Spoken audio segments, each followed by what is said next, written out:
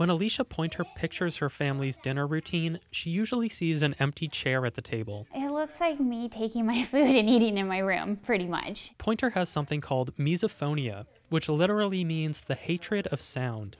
The condition is not well understood, but Pointer knows that if she hears certain repetitive noises, she'll become extremely agitated.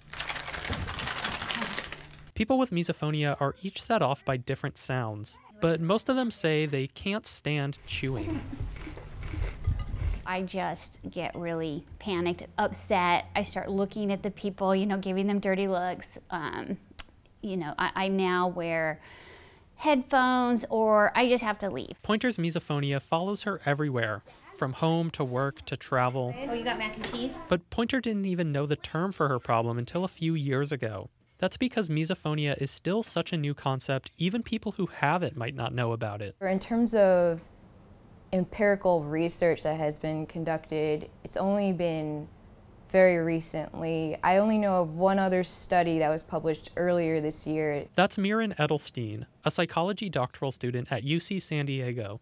In a study published earlier this year, she and her colleagues confirmed that yes, misophonia is very much real, and it's a lot worse than simply being annoyed by rude noises. These are the electrodes that we place on the participants' fingers. Edelstein brought a small group of people into the lab for an experiment. She hooked each of them up to a machine that measures the body's fight or flight response.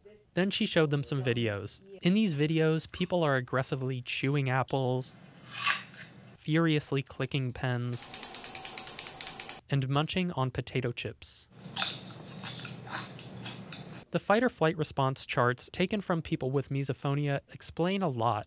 The lines start flat and calm at first, but when the videos start, they shoot right up. This would be an example of just a pretty large response. But why do we see this response? What's the underlying cause of misophonia? It's still way too soon to tell, but Edelstein and her colleagues have a hypothesis. It could be due to an enhanced connectivity between the auditory cortex the brain, so where sounds are processed, and the limbic system, basically where your body's emotional and fight and flight response are processed. Basically, maybe people with misophonia have more connections linking the sound and emotion parts of their brain. The key word here is maybe.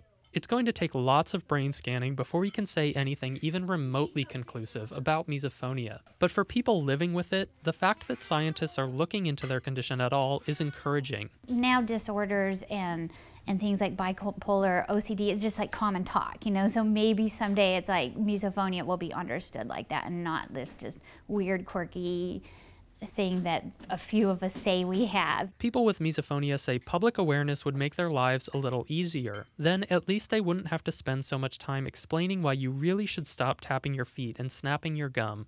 David Wagner, KPBS News.